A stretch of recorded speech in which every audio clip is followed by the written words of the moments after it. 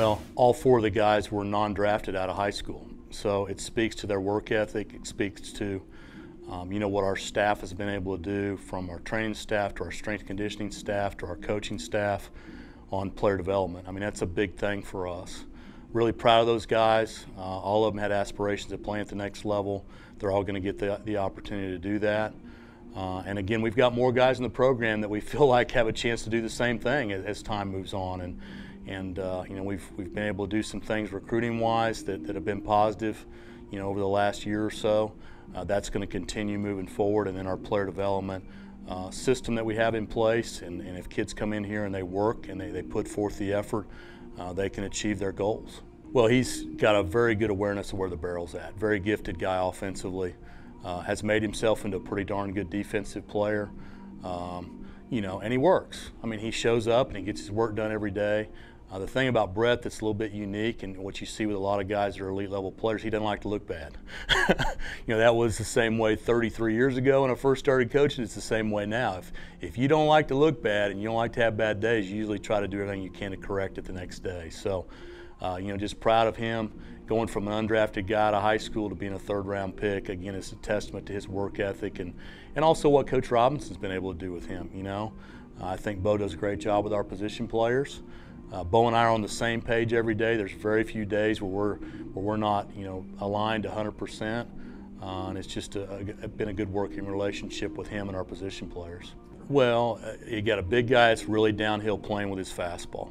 Um, and, you know, Coach Doty, our pitching coach, really helped Colton with his breaking ball. I mean, he's throwing, you know, 80, 81, 82, 83 mile hour sliders at times, you know, along with that, you know, low 90s fastball. It's got a real significant downhill plane.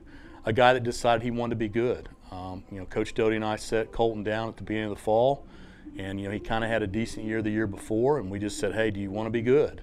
Um, and he made a decision that he wanted to get his work done. He wanted to get his core work done. He wanted to get his shoulder program work done. He wanted to get his work done in the weight room and get his body in, in, in the top shape that he could get it in, and he gets rewarded for it against another guy that was not drafted out of high school that comes in and, and three years later ends up being a top 10 round pick. TJ's a lot more athletic than people realize, um, and you know he was a guy that played the infield, middle infield his whole life. Uh, he did play that as well for us early on in his playing career. He could do that at pro ball if they wanted him to. Uh, but he's also a, a, guy that's developed into a really quality outfielder. He can play center field too. That's another thing that some of the pro guys ask me and ask Coach Robinson about. He can play center field too, uh, if if needed. Um, you know, a guy that had a really good freshman year and a really bad sophomore year, he'll tell you that.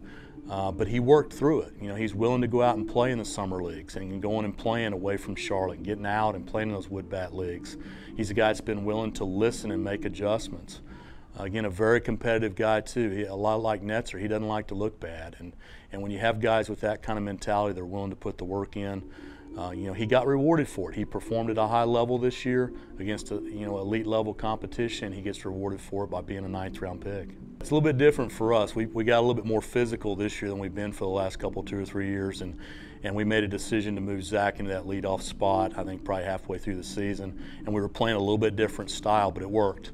You know, we really went on a roll, and, and it was good for him. Zach is an extremely athletic guy. Another guy that was a non-drafted guy out of high school that you know four years later develops into a pro. Uh, was willing to go out and play in the summertime, and this kind of sounds like the same same theme over and over again. But just you know, a guy that, that, that listened to what Coach Robinson was telling him, that that put the work in, and I think everybody was excited to see him get an opportunity. Just one of our one of the best team leaders that we've ever had in this program. I mean, he really did a lot of things, you know, away from the field and, and on the field with other guys to help to help not only himself but help other guys in the program and help our program get better. Well, here's the deal. The deal is we play a great in a great league. We play a great non-conference schedule. We've talked about that a million times.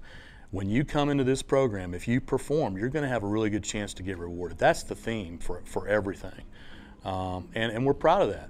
You know, we're back to being nationally relevant again. You know, we need to try to do everything we can to stay there. We've been there in the past. We're back to being nationally relevant again. And I think that we have the ability to do that. We've got a good core of players that are coming back. We've got a good recruiting class coming in.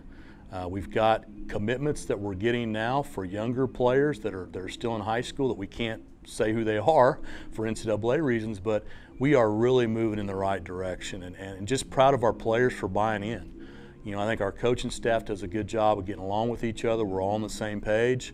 Our players have bought into that. And again, when we see guys come in here and they follow the plan and they get rewarded, and then our program gets rewarded, it's, it's good for everybody.